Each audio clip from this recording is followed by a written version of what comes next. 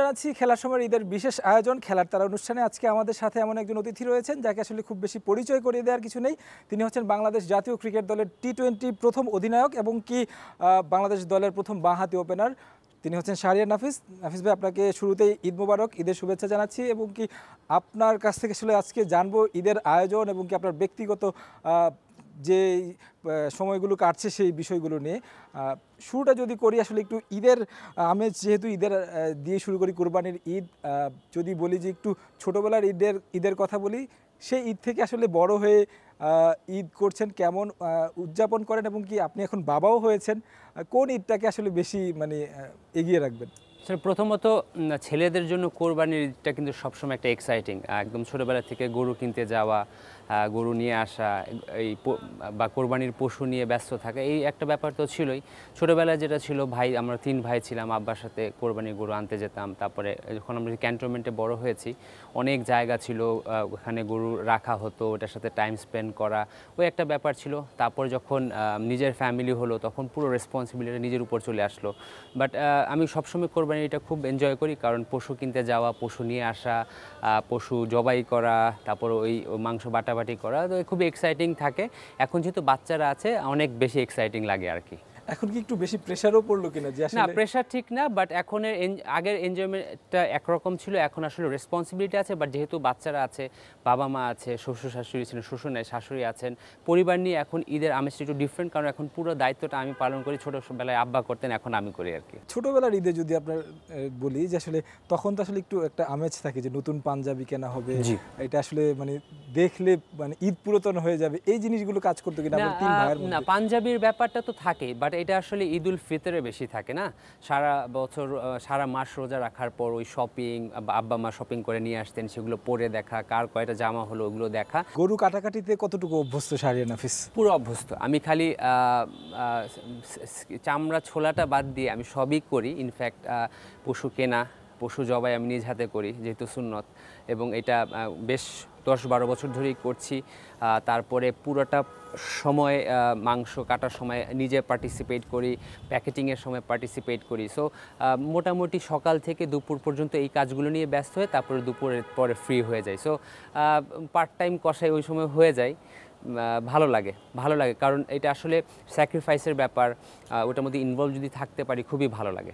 ক্রিকেটের দিকে যাই যে মানে আপনার ক্রিকেটিং স্টার্টটা যেটা হলো, সেই জায়গা থেকে আপনি একদিক থেকে আসলে সেনাবাহিনী ফ্যামিলি বলা চলে হ্যাঁ। বাবা সেনাবাহিনীতে ছিলেন পাশাপাশি আবার ক্রিকেটিং ফ্যামিলিও বলা বলা যায়।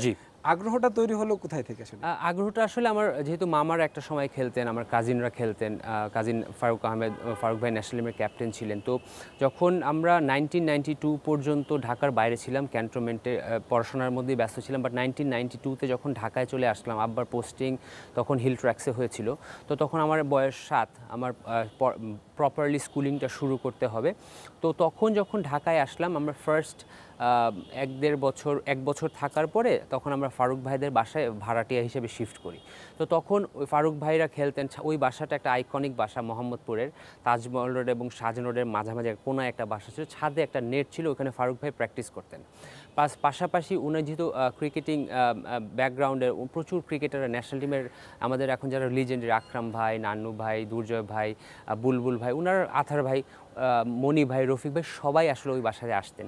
তো তাদের দেখে ফারুক ভাইয়ের খেলা দেখে ওইখান থেকে আর যেহেতু ফ্যামিলির মধ্যে ক্রিকেট ছিল একটা আগ্রহ তৈরি হয় পরে আলটিমেটলি ক্রিকেটে প্রফেশনালভাবেই চলে আসা। আর শাহরিয়ার নাফিসকে আমরা আসলে বাহাতি মানে বাংলাদেশ ক্রিকেট দলের প্রথম বাহাতি ওপেনার হিসেবে জানি। প্রথম বাহাতি ইন এ সেন্স কি আমি টপ অর্ডারে I was genuine opener but আমার আগে রফিক ভাই কিন্তু কিছু দুইটা তিনটা টুর্নামেন্ট ওপেন করেছিলেন বাট উনি আসলে নিচের থেকে উপরে উঠিয়ে নিয়ে আসা হয়েছিল।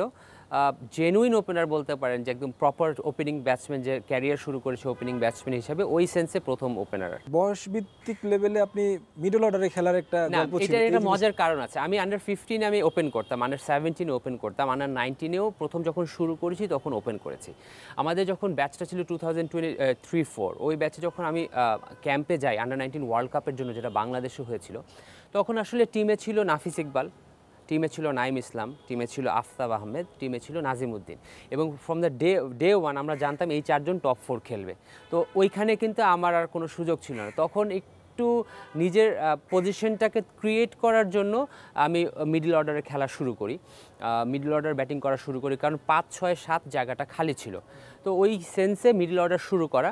তারপর একটা সময় যখন ওই নাইনটিন টিমে চান্স পেলাম না, তারপর যখন পরের ঠিক তার পর ওই ওই বছরই দুই হাজার চারে আমরা যখন ইংল্যান্ডে যাই, তখন আমাদের কোচ ছিলেন রিচার্ড ম্যাকিন্স। উনি আমাকে খুব ইনসিস্ট করছিলেন যে, তুমি ওপেন করো। Why don't you open why don't you open তো আমার কাছে না খুব অবাক লাগতো যে, আমি মিডল অর্ডার খেলছি রান করছি, আমি ওপেন করব কেন?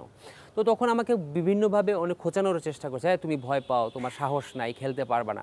তো অনেকটা জিত করে ওকে দেখানোর জন্য আবার ওপেনে ফেরত আসা। যে, ঠিক আছে, না, আমি, ও আমাকে এভাবে বলছে, আমি এটা প্রমাণ করে দিব। তারপর একটা সময় যখন আমি ন্যাশনাল টিমের খুব কাছাকাছি চলে এসেছিলাম, তখন আমাকে ও বলেছিল যে, আসলে তোমার মধ্যে যে ক্যাপাসিটি ছিল, তুমি ওপেনার হিসেবেই ভালো ছিলে। এবং বাংলাদেশ ক্রিকেট টিমে তখন ওপেনিং যে স্লটটা ওখানে পারফরমেন্সটা একটু ইরেগুলার হচ্ছিল তো উনি আমাকে প্রমোট করার জন্য বা আমাকে মোটিভেট করার জন্য বা আমাকে ন্যাশনাল টিমে তাড়াতাড়ি পৌঁছানোর জন্য ওপেন করার জন্য ইনসিস্ট করেছিল এবং probably that was one of the best decision I took কারণ মিডল অর্ডার থাকলে অনেক কম্পিটিশন হতো ওপেনার হিসেবে খুব তাড়াতাড়ি টিমের মধ্যে চলে আসতে পেরেছিলাম। টি টোয়েন্টিতে প্রথমবারের মতো অধিনায়কত্ব করেছেন বাংলাদেশ দলের হয়ে। সেই মুহূর্তটা আসলে কেমন ছিল? এটা আসলে তখন সিগনিফিকেন্সটা বুঝি নাই। তখন ব্যাপারটা এরকম ছিল যে জিম্বাবুয়ের সাথে আমাদের সিরিজ হবে। বাংলাদেশ তখন ইন্টারন্যাশনাল মাত্র টি টোয়েন্টি শুরু হয়েছে তো এটার পার্ট হিসেবে বাংলাদেশ একটা টি টোয়েন্টি ম্যাচ খেলবে। তো কে, প্রতিপক্ষ জিম্বাবে তো আমাদের ওই সময় জাতীয় দলের ক্যাপ্টেন ছিলেন হাবিবুল বাসার ভাই। তো ওই একটা ডিসিশন হলো যে সিনিয়র প্লেয়ারদের ওই ম্যাচটা রেস্ট দেওয়া হবে। তো জুনিয়র যারা আছে এজ লেভেলে ভালো করছে, তাদের নিয়ে একটা টিম করা হবে। তো আমি যেহেতু ওই সময় টিমের ভাইস ক্যাপ্টেন এবং আমার বয়স অনেক কম ছিল, তো ঘটনাক্রমে আমাকেই ক্যাপ্টেন করা হয়। আমরা ক্যাপ্টেন্সি করি ম্যাচটা জিতি, মাশরাফি ভাই খুলনার মাটিতে দুর্দান্ত পারফরমেন্স করেছেন। তখন বুঝি নাই। ইভেন যখন ক্রিকেট খেলছিলাম তখনও বুঝি নাই। বাট এখন এইটার সিগনিফিকেন্স আসলে বুঝতে পারি এবং এটা যে একটা ইতিহাসের পার্ট হয়ে গিয়েছে যে যতদিন বেঁচে থাকব বা বাংলাদেশ ক্রিকেট যতদিন থাকবে এই কুইজটা যদি কেউ কাউকে করে যে বাংলাদেশের প্রথম টি টোয়েন্টি অধিনায়ককে তখন আমার নামটা আসবে। এটা খুব ভালো লাগে। আর যেহেতু বাংলাদেশের ক্যাপ্টেন্সি করতে পেরেছি এটা আমার আসলে একটা বড় পাওয়া। যেভাবে আসলে চেয়েছেন সেই জায়গায় কি ঠিকঠাকভাবে আছে? বাংলাদেশ আমি প্রথমত বিশ্বাস করি Bangladesh cricket is on right track আমাদের গ্রাফটা কিন্তু ঊর্ধ্বমুখী।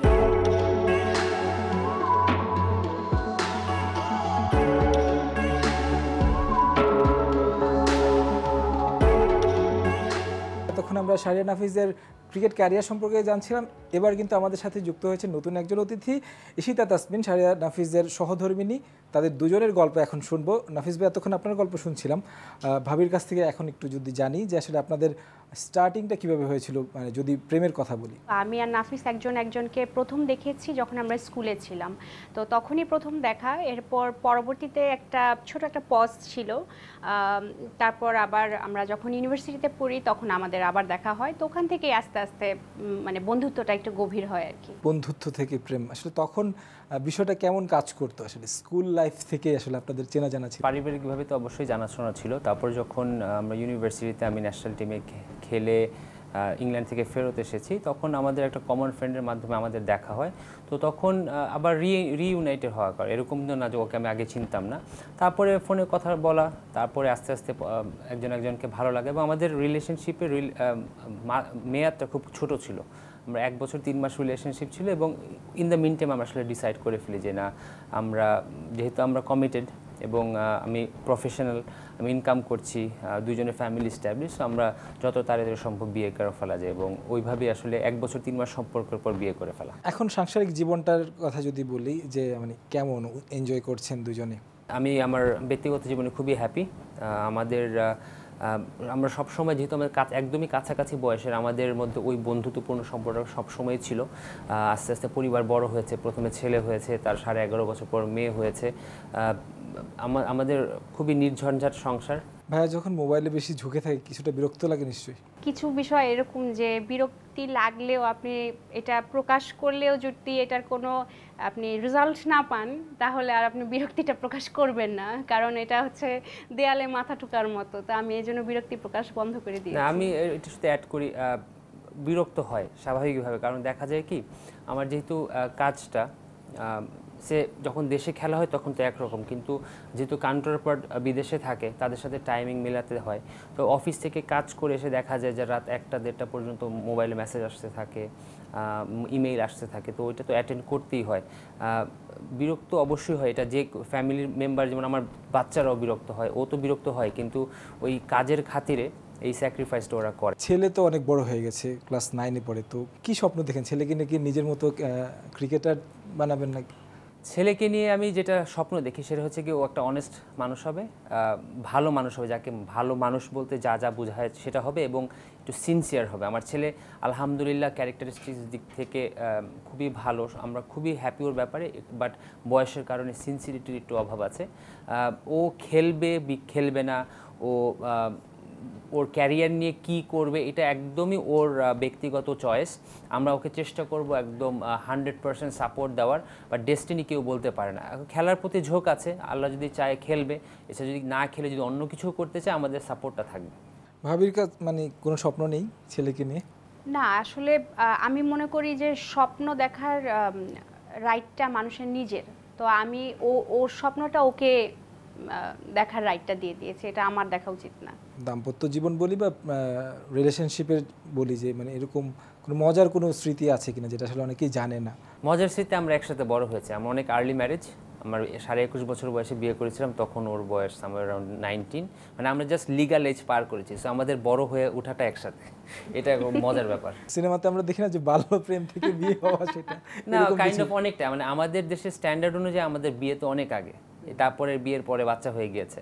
প্রথম বছরই। তো আমরা যেটা সবসময় অনেক সময় ফান করি যে আমরা আসলে একসাথে বড় হয়েছি। এবার আপনাদের দুজনের কাছ থেকে আসলে একটু র্যাপিড ফায়ার টাইপের একটু মানে সেগমেন্ট করতে চাই আর একটু খুব শর্ট টাইমে উত্তর দিবেন। শুরুটা করি ভাবি কে দিয়ে আসলে। যদি প্রথম প্রশ্ন করি শাহরিন হাফিজের ব্যাপারে আপনার সবচেয়ে বড় অভিযোগ কি? সময় দেয় না। সময় দেয় না ওকে ঝগড়া করলে রাগ ভাঙায় কে? আমি নিজেই নিজের রাগ ভাঙাই। একটু রাগ ভাঙাতেও আসে না? না। গান গায় কে বেশি ভালো? আমি অনেক গান শুনি এটা এটা হয়তো নাফিসের পছন্দ না। নাফিস আগে গান গাইতো ও খুব সুন্দর গিটার বাজায় ও গানও গাইতো। আমার শাশুড়ি কিন্তু খুবই সুন্দর গান গায় আমার দেবররাও খুব সুন্দর গিটার বাজায় গান গায়। তো হ্যাঁ বলতে পারি যে Nafis he is a good singer Nafis ভাইয়ের মানে রান্না করে খাওয়া খেয়েছে আপনাকে কখনো? হ্যাঁ হ্যাঁ he is a very good cook ও ভালো রান্না করে। যদি হাজবেন্ড হিসেবে শাহরিন হাফিজকে আপনি নাম্বারিং করেন কত দিবেন দশে? দুই। প্রেমিক হিসেবে নাম্বার পাবে শাহরিন হাফিজ চার পাঁচ অনেক কথা শুনলাম এবার একটু নাফিস ভাইয়ের কাছে আসি। ক্রিকেট এবং কি পরিবার সব মিলিয়ে আপনার কাছে একটু শুনব র্যাপিড ফায়ারে। নিশ্চয়ই আপনি লাইফে ক্রিকেট ক্যারিয়ারে শেন ওয়ার্নের লেগ স্পিন গুগলি ফেস করেছেন। কি এখন কি একটা ফুল টস দিব আপনাকে? হ্যাঁ প্লিজ আম ওপেন আচ্ছা তাহলে ফুল টসটা হচ্ছে আমার আপনার কাছে বাংলাদেশে দলের সবচেয়ে বড় সাফল্য কোনটি? অ্যাট দিস মোমেন্ট নিউজিল্যান্ডের মাটিতে টেস্ট হারানো। সফল অধিনায়ক কে? নাম্বারের দিক থেকে তো অবশ্যই মাশরাফি ভাই না? সাকিব তামিম মুশফিক তিনজনের মধ্যে একজন ব্যাটসম্যানকে মানে বেছে নিতে হবে যার কার ব্যাটিং সবচেয়ে বেশি ভালো লাগে? তামিমের ব্যাটিং ভালো লাগে। মুস্তাফিজ তাসকিনের মধ্যে কাকে পছন্দ করবেন? মুস্তাফিজ খুব ন্যাচারালি ট্যালেন্টেড ওয়ারেস তাসকিন কষ্ট করে একটা প্লেয়ার যে ভালো করতে পারে সেটার একটা বড় প্রমাণ। লাস্ট ওভারে প্রতিপক্ষের চোদ্দ রান দরকার। আপনার বোলিং অপশন আছে সাকিব মুস্তাফিজ। স্ট্রাইকে আছে ফাফ ডুপ্লেসি। কার হাতে বল তুলে সাকিব। নেক্সট সুপারস্টার কে বাংলাদেশের? লিটন। ব্যক্তি জীবনে যদি বলেন সবচেয়ে সফল মুহূর্ত বা ভালো লাগার মুহূর্ত? আমার ব্যক্তিগত জীবনে সবচেয়ে সফল মুহূর্তে যদি আমি ওকে বিয়ে করেছিলাম। Because they were some struggle আচ্ছা একটা কথা হয় না যে বউ মানে প্যারা এই কথার সাথে কি আপনি একমত? একদমই না। যারা বলে তারা আমি এই কথাটার সাথে এইটা খুবই সস্তা একটা কথা। আমরা জানি যে শাহরিন হাফিজ খুব কম মিথ্যে কথা বলে। কমটুকু আসলে কোথায় বলা হয়? যখন ফোন করে জিজ্ঞেস করে কোথায় আছো আমি যদি এয়ারপোর্ট থাকি তখন আমি বলি হচ্ছে গিয়ে সে উত্তরায় ঢুকে গেছি। অথবা আমি যদি নিকুঞ্জ থাকি তখন বলি এয়ারপোর্ট। এই রাস্তার এই ডিস্টেন্স নিয়ে একটু মিথ্যা কথা বলি। মাঠ ছেড়ে এসে এখন তো অ্যাডমিনিস্ট্রেটিভ কাজের সাথে জড়িত। কেমন পার্থক্য করেন বা এনজয় করছেন কেমন? কাজের ধরনটা ডিফারেন্ট কিন্তু মাঠ ছেড়ে আসি নাই। আমার অফিস মাঠেই।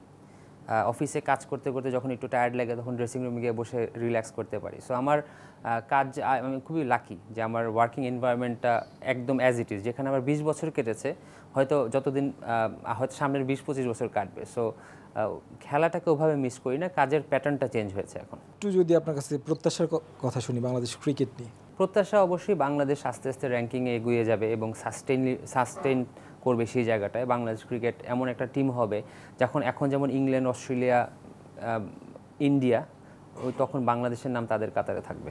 এবারে ঈদটা আসলে কীভাবে এনজয় মানে এনজয় করছেন? এবারের ঈদটা একটু ডিফারেন্ট ছিল। আমার আব্বা আম্মা দীর্ঘ পাঁচ ছয় বছর দেশের বাইরে ছিলেন। মাঝখানে তো কোভিড ছিল মাঝখানে একবার এসেছিলেন। তো এবার যেহেতু তারা থাকবেন আমার সবাইকে নিয়ে আমি আমার ওয়াইফ আমার বাচ্চা আমার শাশুড়ি আমার সাথে থাকেন। আমরা তো এতদিন একসাথে ঈদ করেছি এখন তাদের তারা অ্যাড হয়েছে। বাচ্চাদের আরেকটা বাসা অ্যাড হয়েছে যাওয়ার তারা আসবেন। তো এবার একটু ফ্যামিলিটা বড় হয়েছে আলহামদুলিল্লাহ ভালো গিয়েছে ঈদ। নিশ্চয়ই আপনাদের ঈদ আরও ভালো কাটুক সেই প্রত্যাশা রাখছি। আমাদের সময় দেওয়ার জন্য ভাবি আপনাকে ধন্যবাদ। নাফিস ভাই আপনাকে অসংখ্য ধন্যবাদ। তোমাকেও ধন্যবাদ। দর্শক শুনছিলেন শাহরিয়ার নাফিস এবং কি তার সহধর্মিনীর ঈদ আয়োজনে এতক্ষণ আমাদের সাথে থাকার জন্য অসংখ্য ধন্যবাদ। সঙ্গে থাকুন সময়ের।